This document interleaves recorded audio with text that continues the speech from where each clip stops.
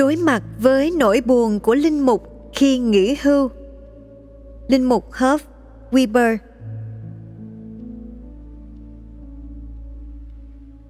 Đối mặt với nỗi buồn của linh mục khi nghỉ hưu. Một chương trình mới trong cuộc đời để tập trung vào việc trở thành người của chúa. Kể từ khi tôi chuyển sang tình trạng cao niên hay còn gọi là tình trạng nghỉ hưu bán phần. Vào mùa hè năm ngoái, như giáo phận của chúng tôi quen gọi như thế với các linh mục đã nghỉ hưu, tôi thường được hỏi rằng mình thích được nghỉ hưu như thế nào. Hầu hết mọi lúc, tôi đều trả lời một cách thành thật rằng tôi đang tận hưởng thời gian cho dù phải thích nghi với một chương trình mới trong cuộc đời mình. Đối với tôi kinh nghiệm nghỉ hưu đến sau 48 năm tích cực trong sứ vụ. Điều mà tôi không nói với mọi người và chỉ tự mình nhận ra sau khi suy ngẫm, đó là tôi cũng đã dành và tiếp tục dành thời gian để đau buồn, mà chính điều này cũng là một quá trình. Tìm hiểu về nỗi buồn. Linh mục trở thành một vấn đề nào đó mà các chuyên gia hay nhắc đến khi đề cập đến sự đau buồn. Qua mọi cái chết của người giáo dân, các mục tử nhận thức được nỗi đau và nỗi buồn mà chính mình cũng có thể dự phần.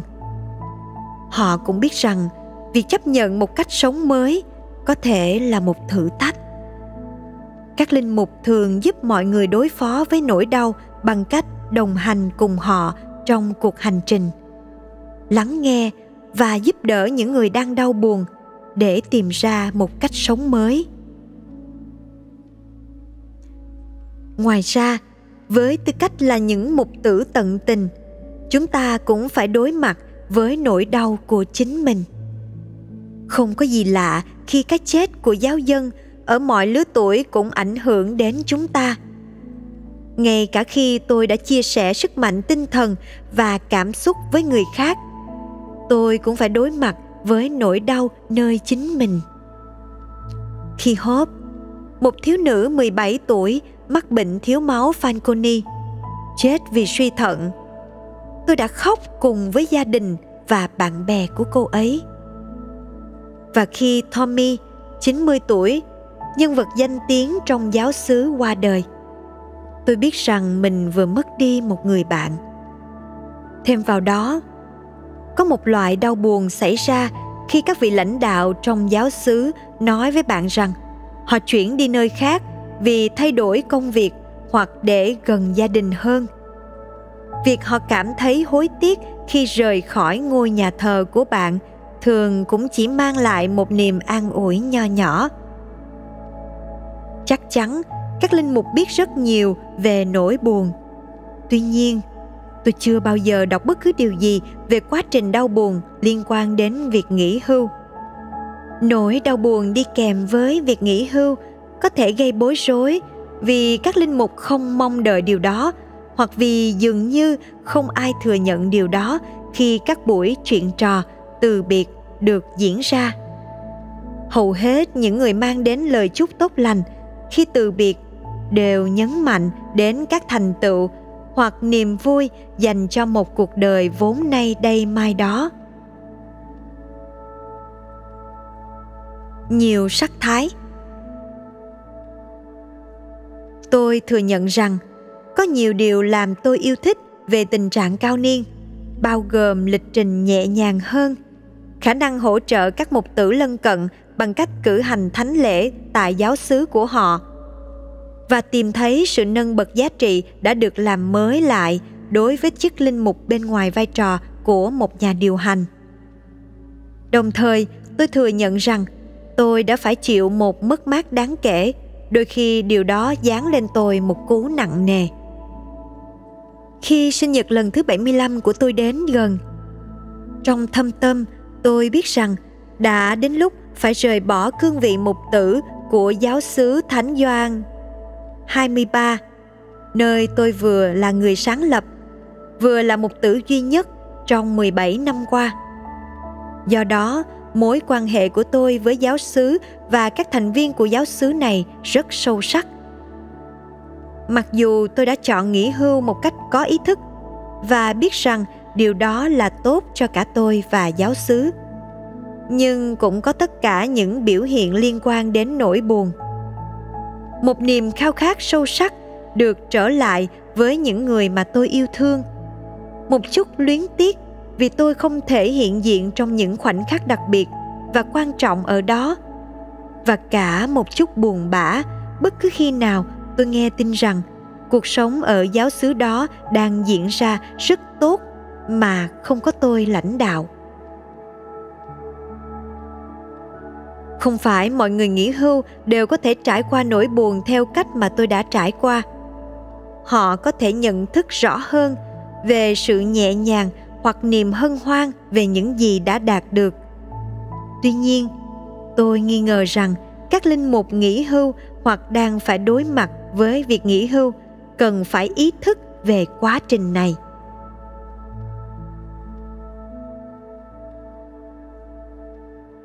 Các thành phần của đau buồn. Tôi chia trải nghiệm đau buồn thành nhiều thành phần. Mỗi thành phần cũng đưa ra một thử thách để giúp tôi vượt qua nỗi đau này. Thứ nhất, có một sự thay đổi cụ thể và rõ ràng diễn ra đối với hầu hết các linh mục nghỉ hưu. Nghĩa là họ cần phải rời khỏi nơi ở do giáo xứ cung cấp. Nhiều người trong các ngành nghề khác không có sự buông bỏ thêm vào như thế khi họ rời khỏi vị trí của mình.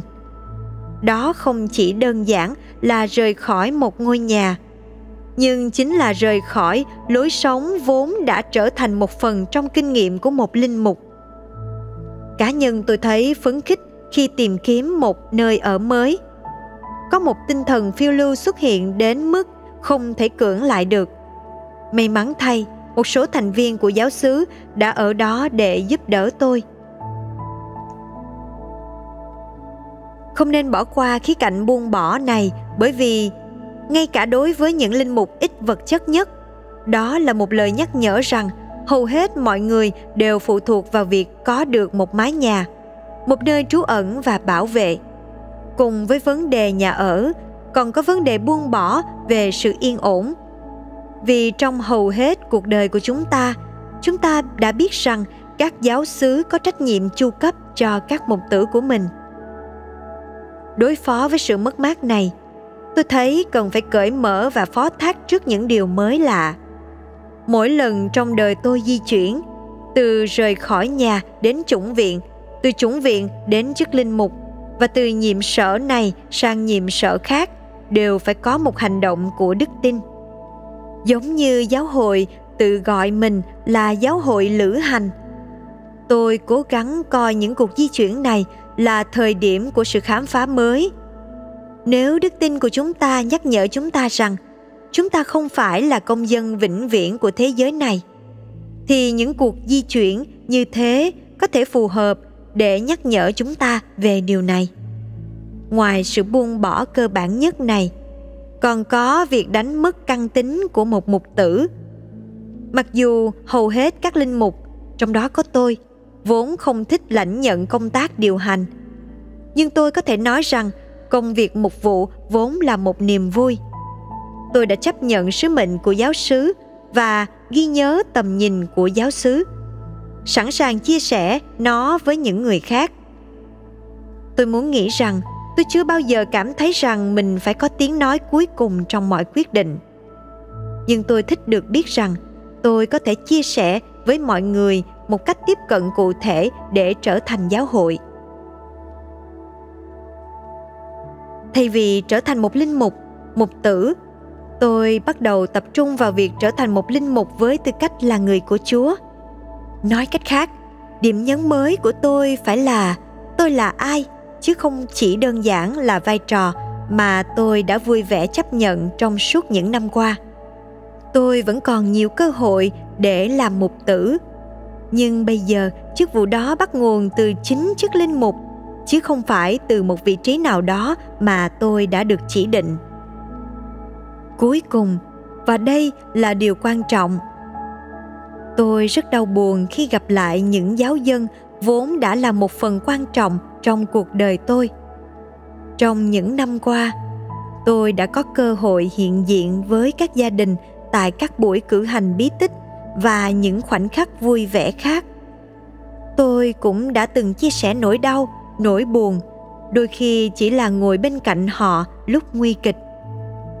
Tuy nhiên, tôi hầu như lúc nào cũng cảm thấy mình là thành viên của nhiều gia đình việc không gặp lại mọi người thường xuyên đã để lại một khoảng trống trong trái tim tôi. Tôi không muốn phủ nhận sự mất mát hay nỗi đau này. Tôi cũng biết rằng nó sẽ không bao giờ giống như nó đã từng. Xin mượn lời tiêu đề từ tác phẩm của thomas wolfe. Để nói lên tâm trạng này, bạn không thể về nhà được nữa. Đó là một phần của nỗi buồn khi nghỉ hưu. Trong giáo hội, người vừa nghỉ hưu dường như nên bước sang một bên để vị mục tử mới có thể tìm ra con đường cho riêng mình. Khi tôi gặp lại các cựu giáo dân tại các buổi chiêu đãi, buổi hòa nhạc hoặc quán cà phê, đó là những khoảnh khắc rất vui cho cả tôi và họ.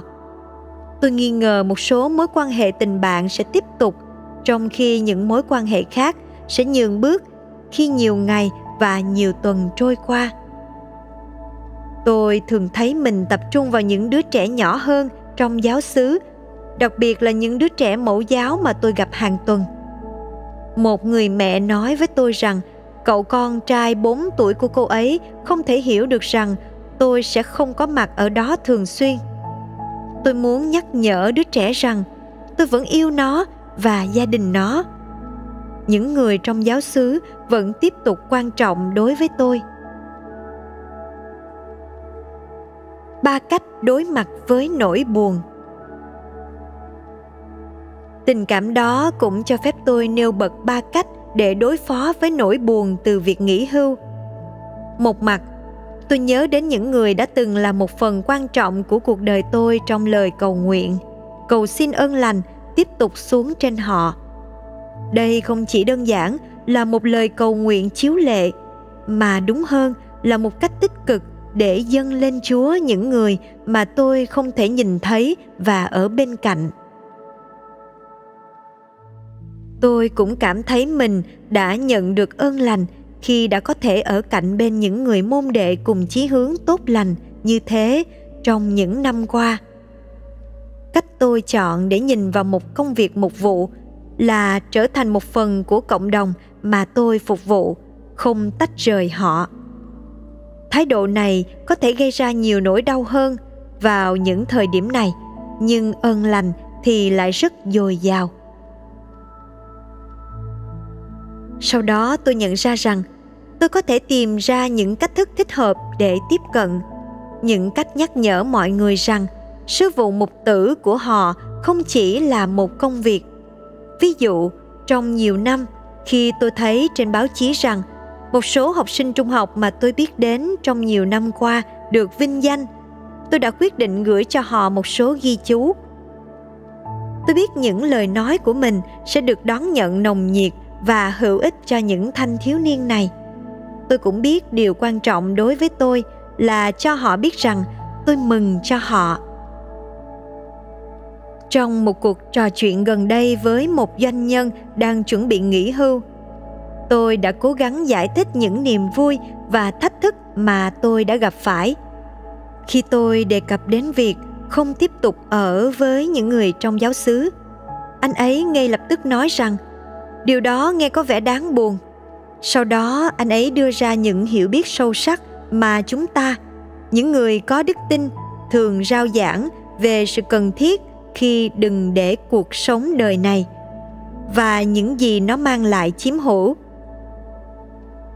Điều đó đã giúp tôi tìm thấy mục tiêu để buông bỏ theo cách mà tôi chưa bao giờ lường trước được khi tôi tiếp tục suy ngẫm xem chức tư tế là gì và chúng ta có thể gặp phải điều gì khi nghỉ hưu. Thông điệp của đức thánh cha francisco về sự nghỉ hưu Phát biểu về chủ đề tuổi già và hưu trí trong buổi tiếp kiến chung ngày 11 tháng 5 năm 2022. Đức Thánh Cha Francisco cho biết, đối với nhiều người, viễn cảnh về hưu trùng hợp với viễn cảnh được nghỉ ngơi xứng đáng và đã chờ đợi từ lâu sau những hoạt động đòi hỏi nhiều sức lực và mệt mỏi nhưng cũng xảy ra rằng sự kết thúc công việc có thể là nguồn gốc của sự lo lắng và đi kèm với một số sự náo động. Tôi sẽ làm gì? Bây giờ cuộc sống của tôi sẽ trống rỗng với những gì đã lấp đầy nó bấy lâu nay. Đây là vấn đề. Công việc hàng ngày cũng có nghĩa là một tập hợp các mối quan hệ. Sự hài lòng khi kiếm sống trải nghiệm khi có một vai trò. Sự công nhận xứng đáng một khoảng thời gian trọn vẹn vượt ra ngoài khung giờ làm việc một mình. Nhưng, chúng ta hãy tự hỏi, chúng ta có đang nỗ lực để khôi phục lại hình dạng hay không? Hay chúng ta chỉ đơn giản là chịu đựng sức y của các điều kiện vật chất và kinh tế?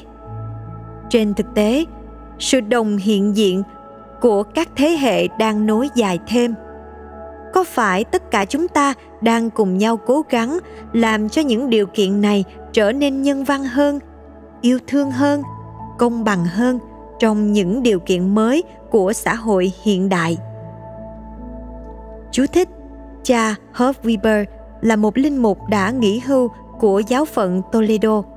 Cha đã được truyền chức linh mục năm 1974.